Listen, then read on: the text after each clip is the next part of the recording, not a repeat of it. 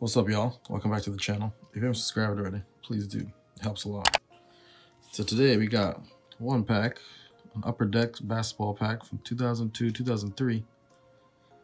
You can get what game used jersey cards as well as rookie cards. Oh, thank God, that'd be nice because this is Yao Ming's rookie year, I believe. So, how cool would it be if you could pull Yao Ming? Obviously, there's mean, I think this is Caron Butler and uh, forgot who else is in this class, but we're looking for a Yao Ming. That's the that's the reason why I'm opening this. All right, here we go. That's open. All these cards look really nice. We got PJ Brown. Are they stuck together? Kind of, or not really. PJ Brown. We got Bruce Bowen.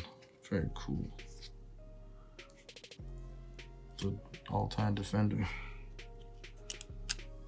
Alright, so I'll make sure I don't have two cards at once. Then we have Pat Garrity. Sounds familiar, don't know him too too well.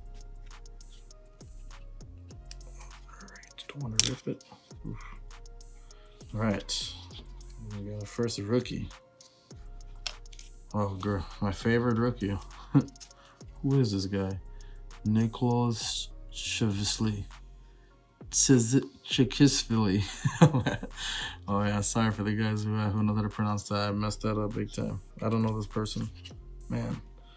So it wasn't the Yao Ming. That's fine. Let's see. Let's see what else we got in here. We have, oh, this is the upper deck. What is this?